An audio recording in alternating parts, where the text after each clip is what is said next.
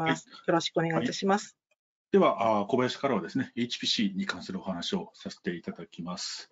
あの前半あの、チップ、ハードウェアに関するお話ですね、あの HPC に関わるものとしてですね、非常にこう楽しく話を聞きました。はい、ありがとうございました。皆様。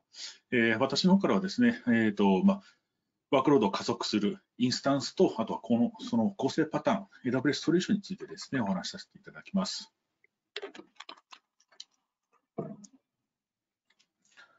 はい、えー、私は小林博と言いまして、あのハイパフォーマンスコンピューティング HPC のソリューションアーキテクトを、えー、AWS でやっております。大規模な計算をですね、実行されるお客様の支援を主に担当しています。よろしくお願いします。えー、今やですね、HPC のワークロードというものはですね、多くの業界、企業様にとってビジネス上必要不可欠なものになってきていますと。まあ、医療分野におけるゲノム解析であったり、製造業においては航空機ですとか、自動車のための流体解析と。我々の日々の生活を助けてくれる天気予報もですね、シミュレーションによって支えられています。そして企業活動のあらゆる場面でですね、あのデータに基づく判断というものが求められていまして、まあ、それを支えるためにデータを収集し、え、素早く分析したり、機械学習によってそのデータの新たな価値を生み出そうとする、まあ、そういった活動も活発になってきています。そうしますと、HPC ワークロードをこういかに早く効率的に実行するか、まあ、するそういうところがですね、あのビジネス上の課題の一つになってきます。本日はですね、HPC のワークロードに合わせたインスタンスとその構成パターンについてお話しさせていただきます。では、まず、その HPC のワークロード、どんな特徴があるでしょうか。ここではですね、大きく2つに分類してお話しさせていただきます。密結合と素結合です。密結合のワークロードというものはですね、この単一の一つのこう大きなジョブを高速で実行するためにですね、この計算ノードをまたいで処理を行いますと。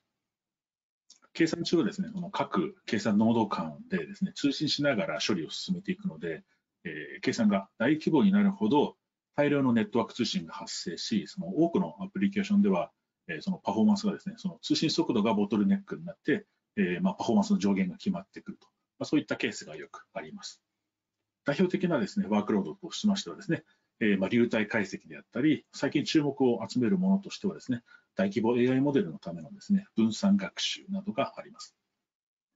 え、一方で、素結合のワークロードでは、えー、単一の計算サーバーで収まるようなですね、比較的こう小さいジョブを実行します。ただし、その小さいジョブなんですが、それをこう数千、数万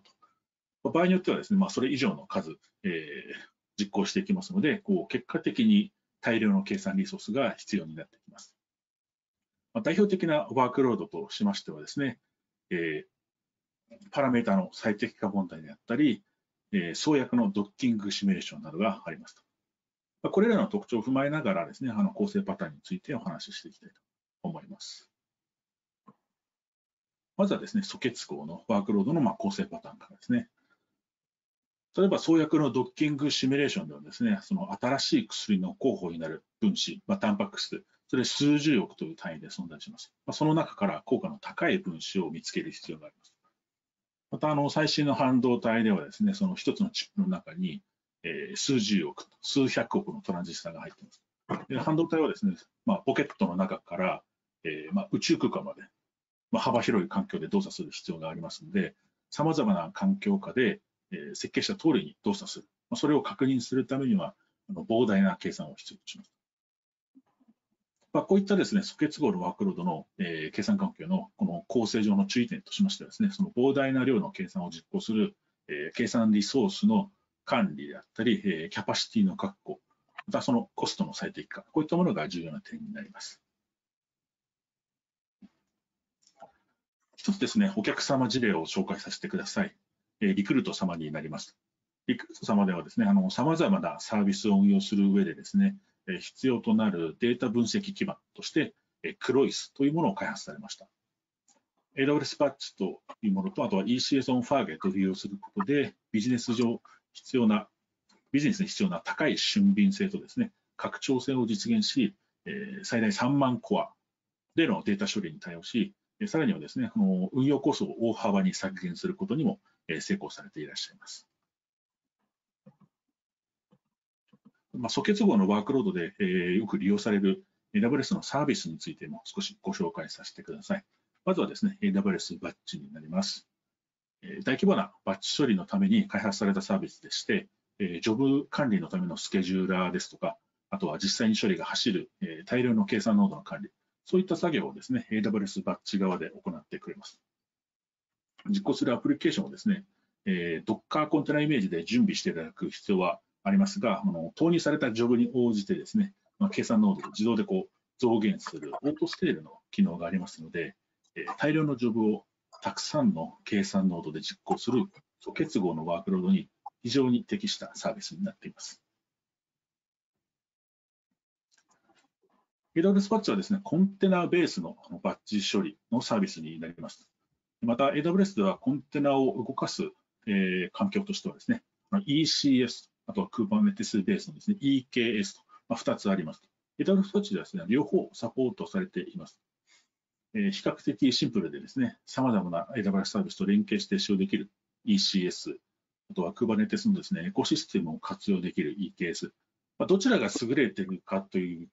わけではなくですね、その普段ご利用されている方、慣れてる方をですね、あの選択していただければいいのかなと思いますし、あのコンテナも含めて AWS バッチ初めてという方にはですね、あのシンプルな ECS からあの使い始めるということをお勧めしたいと思います。またですね、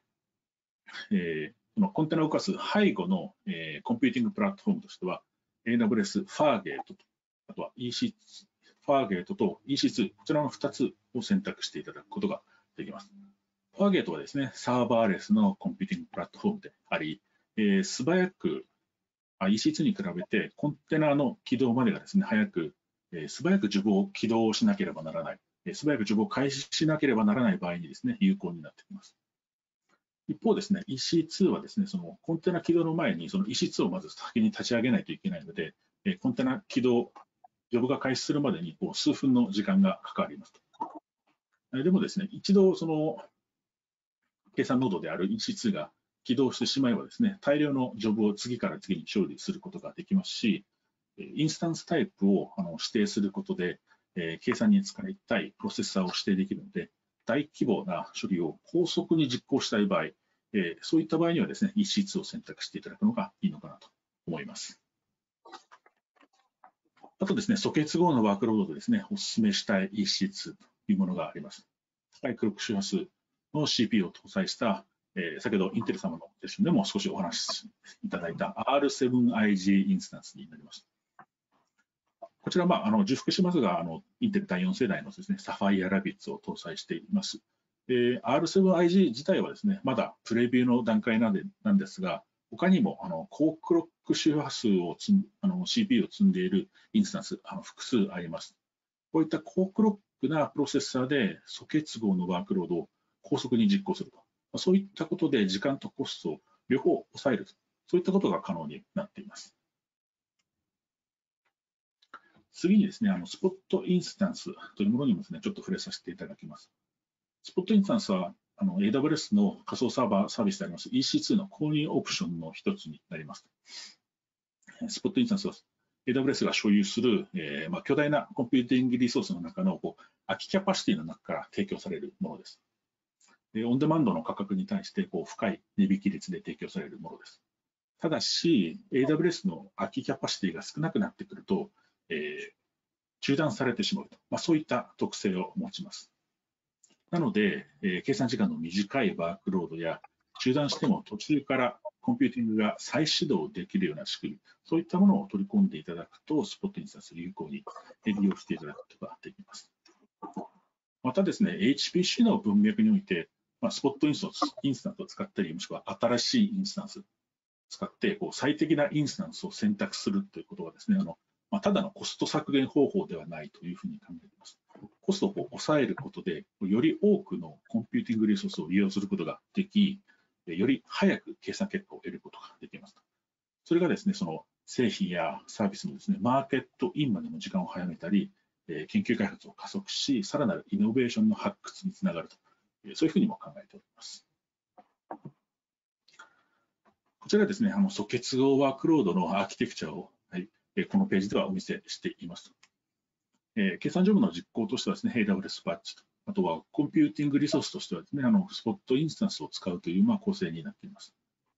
昨年開催されたですね、秋の Amazon EC2 ディープダイブ祭りと、そのイベントの中でですね、スポットインスタンスのベストプラクティスですとか、あとはそれを AWS バッジ上で実現する方法を詳しく解説していますので、の詳細、えページの下にありますリンクからですね、資料等を参考し参照していただければと思います。次はですね、え見つけ地項のワークロードパターンになりますと。構成上の注意点としましては、大量の EC2 あのインスタンス間通信を処理するために、えー、低遅延、高帯域のネットワークを準備する必要があったり、あとはたくさんの計算ノードからですね、高速にデータを読み書きするハイパフォーマンスのストレージ、そういったものが必要になってきます。えー、これも一つですね、お客様の事例紹介させてください。えガスタービンの開発、製造をされている、えベイカー・ヒューズ様です。これまで設計において、オンプレミスの計算クラスターを、え利用されていましたが、AWS に切り替えることで26%計算速度を改善し、40%のですね、HPC コスト削減、それに成功されていらっしゃいます。また、あのノード間通信の回線にはですね、あの Elastic Fabric Adapter というネットワークデバイスと、ストレージにはですね、Amazon FSX フォラスターというサービスをご利用いただいています。まずはですね、その、えネットワークデバイスでありますよね、 Elastic Fabric Adapter、ちょっと紹介させていただきます。MPI ですとか、あとは NVIDIA Collective Communication Library、まあ、ニックル、ニッケルっていうんですかね、ニックルと呼ばれたりしますが、まあ、そういったですね、えー、 Libfabric というライブラリに対応したアプリケーションで、えー、通信を低遅延化してくれるネットワークデバイス、それがエラスティックファブリックアダプター EFA になります。こちらですね、あの対応するインスタンスの種類ですとか MPI のバージョン制限がありますので、えー、実際のご利用の前にはですね、この公式で AWS の公式ドキュメントでですね、対応をちょっと確認していただければと思います。次はですね、えー、Amazon FSX4 ラスターになります。世界中のあのスーパーコンピューターの大体6割程度でですね、利用されている高性能な分散ファイルシステム、それがラスターファイルシステムというものです。それをフルマネージドなストレージサービスとして提供しているのが Amazon FSX4 ラスターになります。ラスターファイルシステム自体はですね、オープンソースなので、ご自身で構築していただくということも可能なんですが、それにはですね、その大量の EC2 インスタンスとですね、そのストレージボリュームを管理し、パフォーマンスのチューニング等も必要になります。まあ、かなり大変な作業になりますが、そういった手間を省いてですね、高性能な分散ファイルシステムをご利用いただくことができる。それがですね、Amazon FSX フォーラスターです。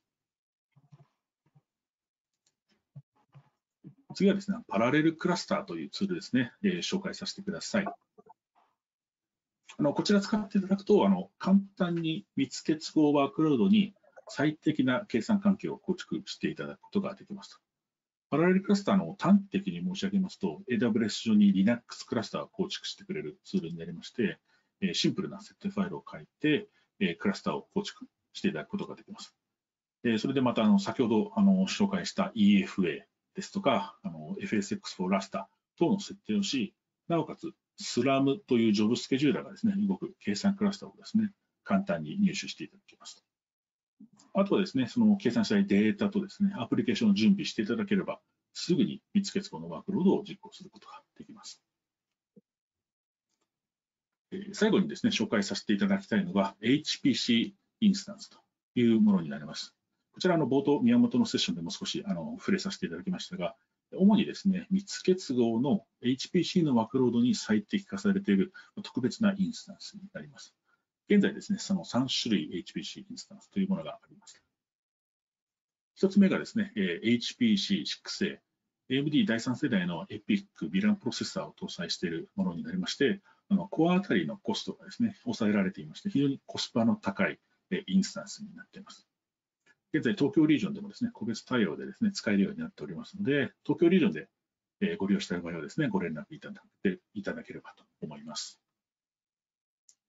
次にですね、HPC6ID インスタンスです。こちらの6の後に I がついているので、インテル様のチップを積んでいるものになります。有限要素法のようなですね、そのメモリーバンド幅が求められるワークロードに適した HPC インスタンスとなっています。現在はオハイオですとかフランクフルトなどのリージョンで提供されています。最後ですね、あの先月、一般提供開始しました、HPC7G になります。7の後に G がついてますので、AWS のグラビトンプロセッサーを積んだものになります。グラビトンプロセッサーの中でも、まあ、最新のものになります、グラビトン 3E プロセッサーですね、こちらを搭載しています。一つ前の世代のグラビトンと比べてですね、不動小数点の演算性能ですから、エネルギー効率がですね、著しくあの改善されています。パフォーマンスとですね、サステナビリティを両立するような HPC インスタンスとなっています。こちら、パラレルクラスターで構築したあの計算クラスターのですね、参考アーキテクチャになりました。ジョブを実行する際はですね、その真ん中のあのヘッドノードにログインして、スラムジョブスケジュールからジョブを投入していただきますと。AWS パッチと同様にですね、こう投入されたジョブに応じて、こう必要な計算ノードをですね、起動してくれるオートスケールの機能がありますので、えー、計算ノードをですね、管理していただく必要はありません。またですね、複数のジョブ Q を持つことができるので、まあ、その中で例えば GPU の Q ですとか、HPC の Q、まあ、そういった使い分けが可能になっています。はい、えー、これまでちょっと駆け足できましたが、最後まとめになりますと。シワークロードの特徴にと、まあ、それに合わせた AWS の構成パターン、異質インスタンスというものをですね、紹介させていただきました。お客様のワークロードに合わせた構成をとっていただくことで、まあ、効率的に HPC ワークロードを実行し、ビジネスの加速にお役立ていただければなと思います。はい、小林からは以上になります。ご清聴ありがとうございました。